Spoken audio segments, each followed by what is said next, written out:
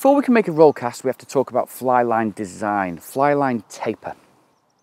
In an overhead cast, we throw all the line behind us in the air and it pulls against the rod, bends it, loads it, and we make our forward cast. Agreed? So all of the weight of that fly line is pulling against the rod. That's not the case with the roll cast. Why? In a roll cast, we have a thing called a D-loop. This is what the D-loop looks like. It's that line hanging from the rod tip, touching the water there.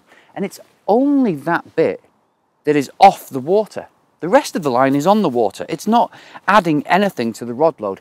So it stands to reason that we need the majority of the weight of the fly line in that bit there.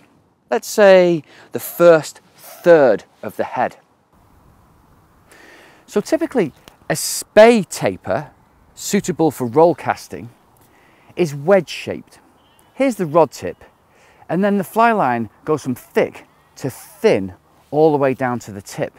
The term spey taper comes from the River Spey in Scotland. In the olden days, they invented the cast called a roll cast. And they did that because in the upper reaches of the Spey, there was no backcasting space. They couldn't make an overhead cast and they used great big 18 foot big salmon rods. And so they had to invent a cast to just get the line out. So they invented the roll cast. And from that was a series of casts called spey casts. So a line that is suitable for roll casting often is termed a spey taper. Now, all of my lines are spey tapers. Why? Because they have directional stability. Imagine this is the fly line, this fly rod, okay? It has a thick bit and then it has a thin bit. Now look how hard it is for me to have control over that thick bit if it's far away from me. Now bring the thick bit closer to me and look how easy it is. Having the thick bit of the fly line closest to us when we make the cast gives us directional stability and control. And it also means that the thick bit is in our D-loop, giving us more weight to load the rod. A little bit complicated, but you need to know it before you just start making roll casts and failing.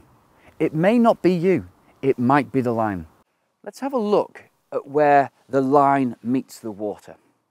I call it a contact point. And in roll casting, you want to use your eyes to really monitor that contact point. What do I mean?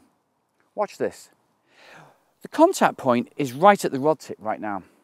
As I move the rod tip, watch the contact point peel away from me. See? But there's a point where it stops running away and starts running back towards me, doesn't it? And here we are. Here's the contact point approaching my foot. There it is. The contact point is right beside my casting foot.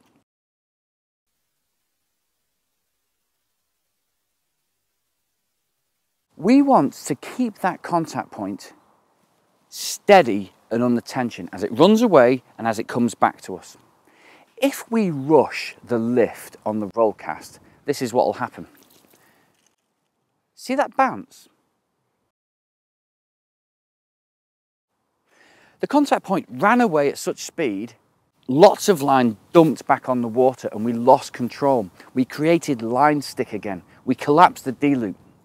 If you went at this speed, I'd be very, very happy. Okay, I want to introduce you to a new term in all roll casts. It's called an anchor. That bit there that's left on the water is called the anchor. You cannot cast over the anchor in any of the spey casts. I've heard people call it crossing the tracks. Imagine two railway tracks, okay? There's one of the tracks you have to make the other one next to it. If you cross the tracks by doing that, you get a tangle. Whichever way you look at it, whatever you want to call it, do not cross over your anchor. Always cast between you and it.